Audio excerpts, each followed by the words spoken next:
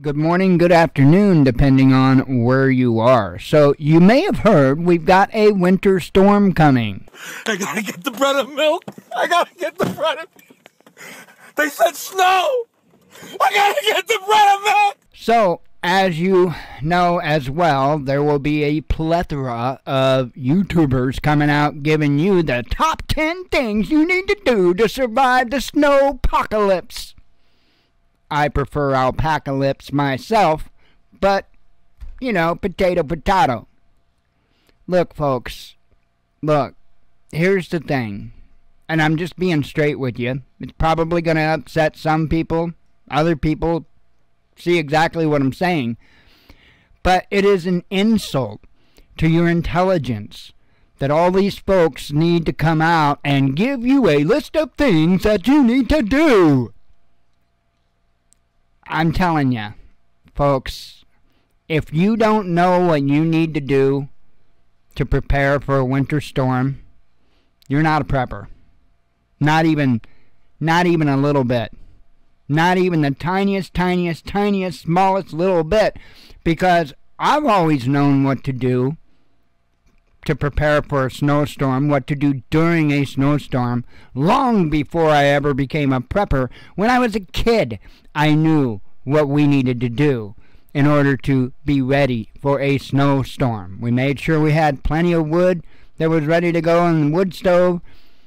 You know, there's only so many things that you can do, and uh, you just make sure that all of those things are in order. But it is it is insulting, whether people realize it or not, that these people act like they have to be your babysitter, like they have to tell you every little thing you need to do. I am not going to do that. What I am going to do is ask you to not do something. Please, if you're one of those people that really like to enjoy sharing stuff and these these simple helpful ideas and all of that, you know the one with the tea light candles and the clay pot? Please do not share that.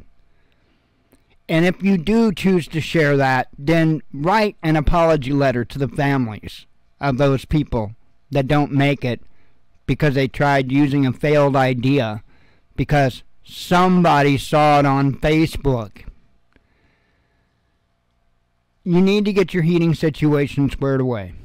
If you don't have an alternative form of heat, you need to find one or you need to have a, a location that you can go to in order to get warm um, somebody had uh, asked a question in one of the preparedness groups a couple, three weeks ago and brought up the situation, you know, what if there was a snowstorm or whatever, the power went out, you know, would you in, would you invite people into your home?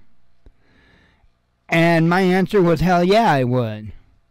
I'm not going to sit here in a cozy house and watch people especially families, freeze to death.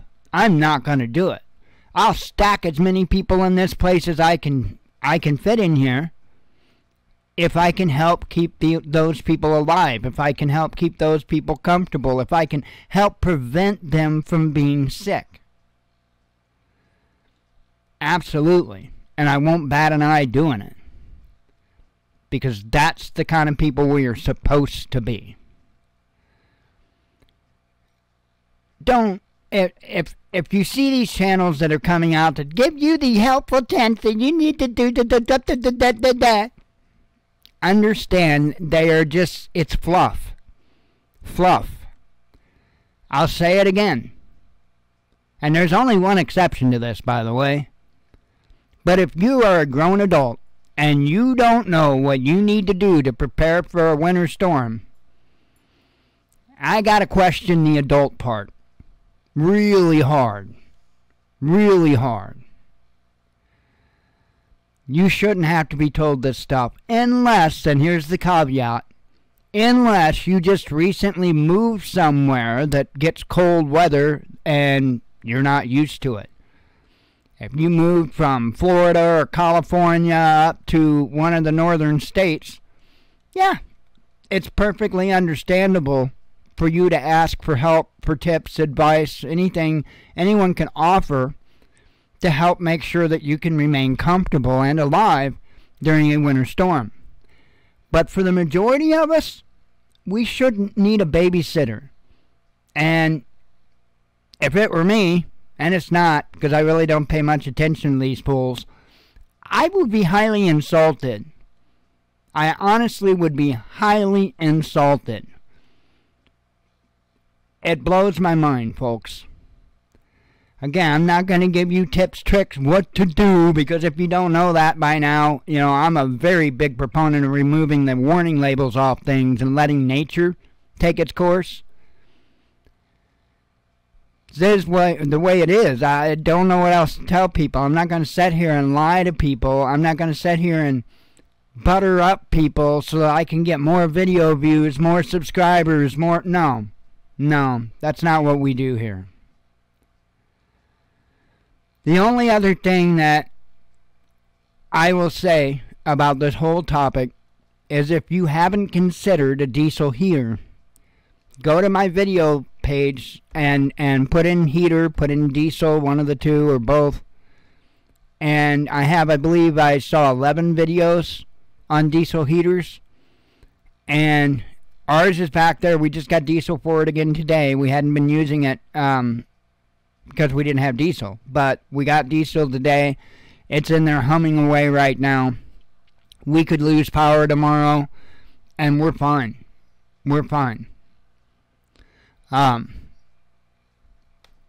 I specifically did that, what, two years ago, or we're on the second year, because I was planning ahead. What if we need an alternative supply of heat? Because all we have is electric here. There's no gas that runs into this place. We got electric water heater, electric stove, electric dryer, and electric heat. And if you want to see a power bill go absolutely through the roof, you touch that thermostat on my wall and you turn on the heater, the furnace. It is insane what it costs to heat this place with that furnace. Uh, you often see it little during the winter months. You see the heater over here. We've got three of those. They're oil filled space heaters. I'm sure you've seen them before.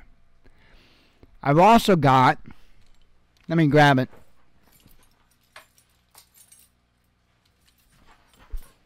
All three of those heaters have an outlet that plugs into the wall, and then the heater plugs into that outlet.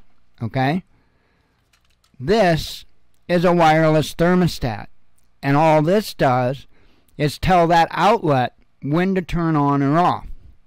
And so we crank the you crank the heaters up on high and just leave them on and you plug it into these outlets and again this will turn it off and on. You can get these on on Amazon. I'll uh, I'll find a link for you and put it in the description a, an affiliate link. No, it's not to make money. It's because yeah, a lot of people's never heard of these and they're incredible. They really do make a big difference because if you've used space heaters very much, you know that the, the temperature control on them are a joke. Either you're going to freeze or you're going to burn up. One of the two, there is no happy medium. This changes that. And these are good up to, you know, 1500 watt heaters. That's what we've got. Three 15 100 watt heaters. We use this to turn them on and off. And that alone saves us a fortune on the power bill. However, that diesel heater is the most economical of all of them. And I can run it on 12 volts. So that's my only advice. I'm not going to sit here and tell you, well, you need to do this and you need to do that and you need because if you don't know this stuff already, nah, it is what it is. You know, it's it's really time that we stop babying people. It really truly is.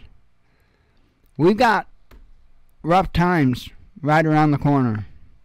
And I mean really, really rough times. being out of electricity for even a day, it's just a bump in the road compared to what we're looking at. Like I say, just please don't be sharing the stupid ass picture of how you can turn a tea light candle in a clay pot into a 40,000 BTU furnace because it doesn't work. No, stop. It doesn't work. I every time, every time I get people, oh, I'm done I'm done it. Yeah, okay.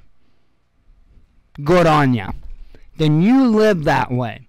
But don't tell anybody else to do that. Because the truth of the matter is that clay pot and that tea light candle isn't going to warm up a room of any size enough to be able to survive if it's that cold. So I know it's a cutesy little thing to share, but it could literally cost people their lives, and I don't think that's very damn cute. Anyway, if you've got any questions about the diesel heaters or anything like that, feel free to ask. I'm not really that big of an asshole, but